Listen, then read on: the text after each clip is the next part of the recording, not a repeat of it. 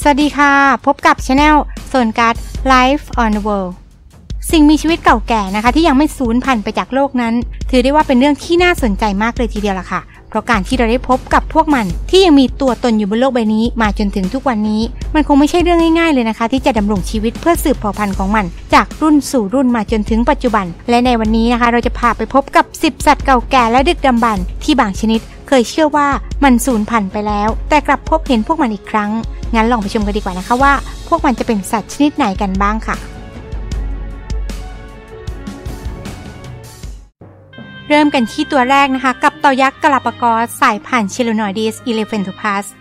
ต่ายักษ์สายพันธุ์นี้นะคะ มันเคยอาศัยอยู่บนเกาะฟลอเรียนา ซึ่งเชื่อกันว่ามันได้สูญพันธุ์ไปเมื่อกว่า 200 ปีที่ผ่านมา จากการล่าเป็นอาหารนะคะของลูกเรือเดินทะเล ระหว่างการเดินทางข้ามมหาสมุทรแปซิฟิกแต่ก็มีความเป็นไปได้ว่าลูกเรือนะคะ อาจจะทิ้งเต่าไว้ที่เกาะอิซาเบล เพื่อลดภาระน้ำหนักของเรือ ดังนั้นนะคะ กลุ่มนักวิทยาศาสตร์นานาชาติ จึงได้เดินทางสำรวจเมื่อช่วงปี 2555 และก็ได้เก็บตัวอย่างของเลือดเต่านะคะ กว่า 1,700 ตัว บนเกาะอิซาเบล เมื่อวิเคราะห์ตัวอย่างเลือด ก็ค้นพบร่องรอยทางพันธุกรรมของเต่ายักษ์ที่สูญหายไปจาก 80 ตัวอย่างเลือด ซึ่งนักวิจัยนะคะก็ได้เลือกตัวอย่างเลือดเต่าที่มีความใกล้เคียงสูงกับเต่าบนเกาะฟลอเรนามาผลิตสำเนา DNA อย่างไรก็ตามแม้ว่าการฟื้นฟูในครั้งนี้นะคะ อาจจะไม่ได้สายพันธุ์เต่ายักษ์ที่มีพันธุกรรมสมบูรณ์ร้อยเปอร์เซ็นต์เหมือนกับเต่าที่อยู่บนเกาะฟลอเรนาแต่ประชากรเต่ายักษ์เหล่านี้นะคะ ก็มียีนเหมือนกับยีนเดิม และต่อยอดสายพันธุ์ให้ยั่งยืนสืบไป ซึ่งถือได้ว่า วิทยาการที่ก้าวไกลเหล่านี้ อาจทำให้มนุษย์เรานะคะ ได้เจอกับสัตว์ที่เคยสูญพันธุ์ไปนานแล้ว ก็เป็นได้นะคะ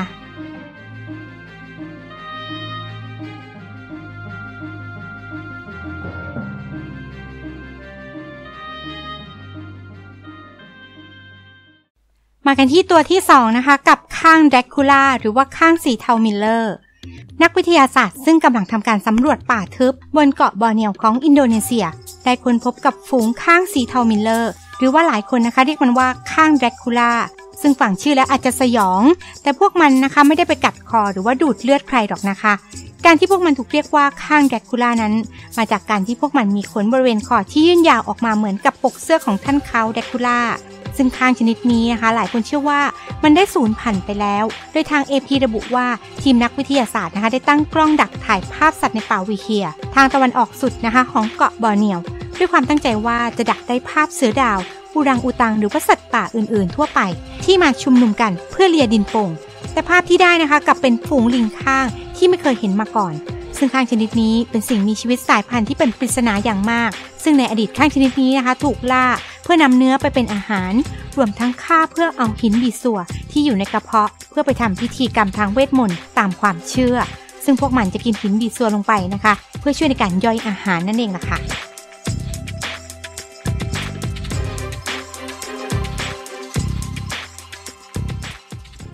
3. ปลาดึกดำบรรซิลาแคนซิลาแคนนะคะถือกำเนิดครั้งแรกบนโลกในยุคดีโวเนียน หรือเมื่อประมาณ 400 ล้านปีก่อน ซึ่งมันเป็นสัตว์ที่มีชีวิตบนโลกก่อนไดโนเสาร์และสัตว์เลื้อยคลานข้อมูลนี้นะคะทำให้นักชีววิทยาสนใจและก็เชื่อว่า ถ้าเข้าใจวิวัฒนาการของปลาชนิดนี้ ก็จะเข้าใจที่มาของสัตว์บก การศึกษาธรรมชาตินะคะของปลาประหลาด ทำให้นักชีววิทยารู้ว่า มันชอบใช้ชีวิตอยู่ที่ระดับน้ำลึกตั้งแต่ 170 ถึง 200 เมตร ซึ่งบริเวณนั้นนะคะมีอุณหภูมิตั้งแต่ 15 ถึง 17 องศาเซลเซียส เดือนมิถุนายนนะคะปีคริสต์ศักราช 2000 ปีเตอร์ฟอรีแห่งพิพิธภัณฑ์ประวัติศาสตร์ธรรมชาติลอนดอน ได้ศึกษาฟอสซิลอายุ 305 ล้านปีของซีลาแคนท์ซึ่งพบว่าเมื่อประมาณ 245 ล้านปีก่อน ที่เกิดอุบัติการณ์สูญพันธุ์ขนาดใหญ่ของสิ่งมีชีวิตบนโลก มีสิ่งมีชีวิตนะคะ ได้สูญพันธุ์ไปถึงร้อยละ 95 แต่ซีลาแคนท์นั้นยังอยู่รอด ซึ่งนับได้ว่าเป็นเรื่องที่น่าสนใจมากเลยทีเดียว แต่ในปัจจุบันนะคะมีปลาชนิดนี้เหลือเพียงแค่ 200 ถึง 300 ตัวเท่านั้น และนั่นก็แสดงให้เห็นว่ามันเป็นสัตว์ที่กำลังจะสูญพันธุ์ซึ่งฟังดูแล้วน่าใจหายมากเลยนะคะ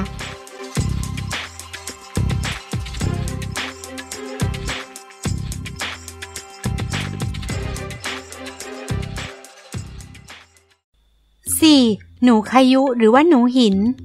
หนูหินนะคะมีลักษณะคล้ายกับหนูแล้วก็กระรอกผสมกัน โดยมีหางที่หนาแล้วก็มีขนสีเทา ซึ่งจัดได้ว่าเป็นซากดึกดำบรรพ์ที่มีชีวิตชนิดหนึ่ง ที่ยังคงดำรงเผ่าพันธุ์มาจนถึงปัจจุบัน เนื่องจากสิ่งมีชีวิตชนิดอื่นในวงเดียวกันนั้นนะคะ ได้สูญพันธุ์ไปหมดแล้ว ตั้งแต่เมื่อ 11 ล้านปีก่อน โดยมีหลักฐานเป็นซากดึกดำบรรพ์ที่พบในมณฑลซานตงของจีนหนูหินนั้นนะคะเป็นสัตว์ที่ชาวพื้นเมืองรับประทานเป็นอาหารโดยปกติอยู่แล้ว แต่ว่าเพิ่งจะมาเป็นที่รู้จักของชาวโลก ในกลางปีคิตศักราช 2005 แต่ถ้าว่าก่อนหน้านั้นนะคะ ในปีคิตศักราช 2004 ก็ได้มีนักอนุรักษ์ธรรมชาติ และก็นักสัตววิทยาชาวอเมริกันผู้หนึ่ง ได้พบกับหนูหินมาแล้ว จากการที่มันนะคะเป็นอาหารย่างไม้ขายในตลาดสดของแขวงคำม่วน ซึ่งในตอนนั้นเขาเชื่อว่ามันต้องเป็นสัตว์ชนิดใหม่อย่างแน่นอน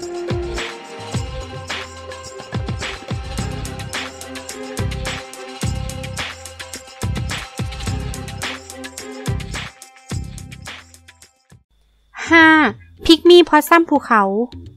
สำหรับ pygmy possum ภูเขานั้นนะคะ ถือได้ว่าเป็นสัตว์หายากชนิดหนึ่งในประเทศออสเตรเลีย ซึ่งถูกค้นพบครั้งแรกที่มีการบันทึกไว้นะคะ นั่นก็คือซากดึกดำบรรพ์เมื่อปีพุทธศักราช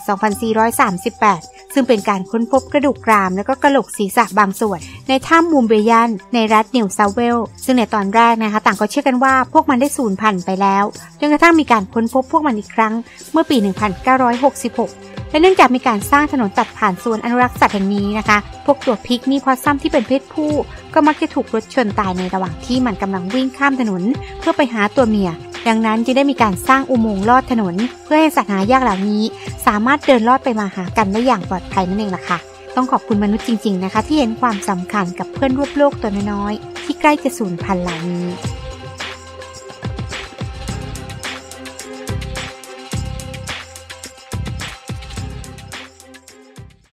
6. นกคุ่ม นกคุ่มนะคะ หรือว่านกคุ่มอืดเป็นวงศ์นกในอันดับนกนางนวลซึ่งจัดเป็นนกขนาดย่อมที่มีลักษณะคล้ายกับนกกระทาที่อยู่ในวงศ์ไก่ มีลักษณะโดยรวมนั้นนะคะ ก็คือมีลำตัวขนาดเล็ก ปีกเล็ก และไม่สามารถที่จะบินได้ นอกจากจะบินในระยะใกล้ ๆ อย่างเช่นบินขึ้นไปบนต้นไม้ ซึ่งมันนะคะจะหากินบนพื้นดินเป็นหลัก นกในวงศ์นี้นะคะมีการพบซากฟอสซิล ตั้งแต่ในยุคโอลิโกซีนตอนปลาย จนถึงยุคไมโอซีนตอนปลาย ที่ยุโรปกลางและก็ยุโรปตะวันตกเฉียงใต้ ซึ่งนกในวงนี้ก็มีประมาณ 16 ชนิดทั่วโลก โดยพบกระจายพันธุ์นะคะ ทั้งในทวีปเอเชีย แอฟริกา และออสเตรเลียสำหรับในไทยนั้นนะคะ มีอยู่ทั้งหมด 3 ชนิดด้วยกัน นั่นก็คือนกคุ้มอืดเล็ก นกคุ้มอืดใหญ่ แล้วก็นกคุ้มอกลาย ซึ่งคนนะคะมักจะนิยมนำมาเลี้ยง เนื่องจากว่าชื่อของมันนั้น หลายคนจะอ่านว่านกคุ้ม ซึ่งก็ถือได้ว่าเป็นนกนะคะ ที่คอยคุ้มครองคุ้มภัยนั่นเองล่ะค่ะ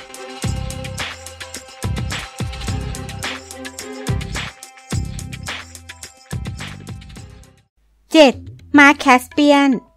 หากไม่นับบรรพบุรุษนะคะที่สูญพันธุ์ไปแล้ว นี่คือสายพันธุ์ม้าที่ได้รับการยืนยันแล้วว่า เก่าแก่ที่สุดในโลก แถมยังอึดถึกแล้วก็ทนอีกด้วยล่ะค่ะ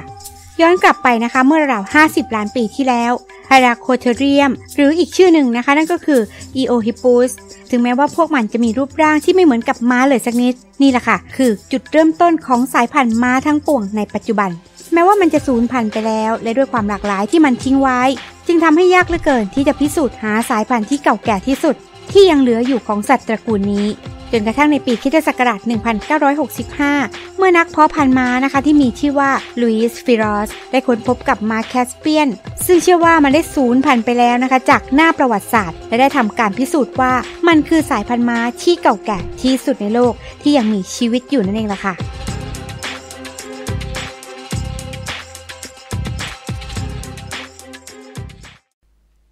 กระรอกบินวูลลี่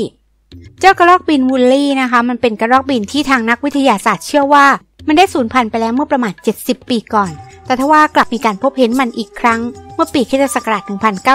1995 ทางตอนเหนือของประเทศปากีสถาน ลักษณะเด่นของกระรอกชนิดนี้ นั่นก็คือลำตัวของมันจะมีขนาดใหญ่กว่ากระรอกทั่วไป และมีขนที่ยาวปกปุยปกคลุมไปทั่วทั้งตัว รวมถึงหางที่มีลักษณะเป็นพุ่มขนาดใหญ่ โดยทั่วไปแล้วนะคะ จะมีขนาดลำตัวประมาณ 5-12 นิ้ว ซึ่งเจ้ากระรอกชนิดนี้นะคะ จะใช้ปีกบางๆใต้แขนที่เชื่อมกับขาทั้งสอง ในการช่วยพยุง และทำให้มันสามารถบินได้ ซึ่งดูราวคล้ายกับร่มชูชีพขนาดเล็กเลยล่ะค่ะ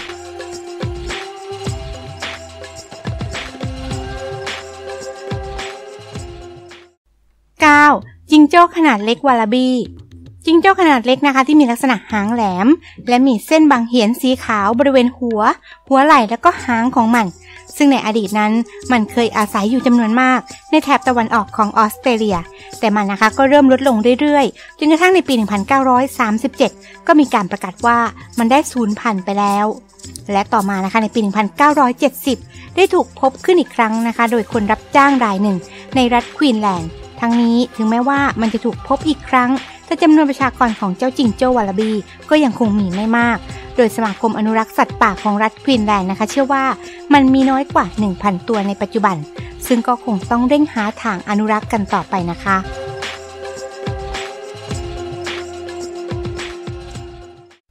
10. นกกระรางแก้มแดง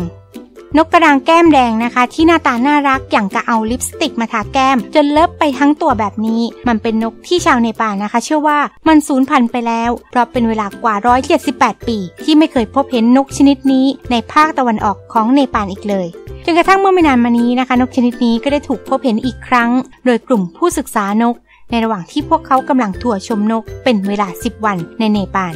สำหรับในบ้านเรานะคะ ก็สามารถพบเจอเจ้านกแสนสวยชนิดนี้ได้เช่นกัน ซึ่งจะมีลักษณะนะคะสีแดงเลยลงไปถึงใต้คอ และจะมีสีที่สดกว่า ซึ่งนกชนิดนี้จะกินผลไม้แล้วก็แมลงเป็นอาหาร โดยชอบหากินรวมกันเป็นฝูงเล็กๆ หรือรวมกับนกชนิดอื่น และมีนิสัยที่ขี้อายและไม่ชอบโชว์ตัวในที่โล่งซึ่งสามารถพบเห็นพวกมันได้นะคะ ตามป่าดงดิบและทุ่งหญ้าที่ระดับความสูง 1,400 ถึง 2,200 เมตร จากระดับน้ำทะเล ซึ่งในไทยนั้นนะคะ มีรายงานเฉพาะบนดอยสูงบางแห่ง อย่างเช่นดอยอ่างค้าง และก็ดอยลางนั่นเองล่ะค่ะ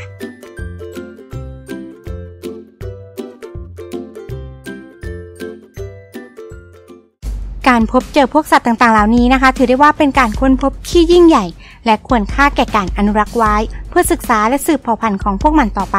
เพราะสัตว์ต่างๆ เหล่านี้นะคะ บางชนิดก็มีชีวิตอยู่มาก่อนมนุษย์ซะด้วยซ้ำและพวกมันยังคงมีชีวิตอยู่ได้มาจนถึงทุกวันนี้ แต่เป็นที่น่าเศร้านะคะว่าสัตว์เหล่านี้มีจำนวนน้อยเต็มทีหรือแทบจะเรียกได้ว่ามันใกล้จะสูญพันธุ์แล้วนั่นเองล่ะค่ะ ซึ่งหากทุกๆฝ่ายนะคะ ร่วมมือร่วมใจกันอย่างจริงจัง ก็เชื่อว่าทุกชีวิตบนโลกใบนี้นะคะ ก็จะอยู่ร่วมกันได้ อย่างมีความสุขสืบไปนั่นเองล่ะค่ะ หากว่าชื่นชอบคลิปนี้นะคะ แอดก็ฝากกดไลค์ กดแชร์ แล้วก็กดติดตาม เพื่อเป็นกำลังใจให้กันด้วยนะคะ คลิปนี้ลาไปก่อน เจอกันใหม่ในคลิปหน้า สวัสดีค่ะ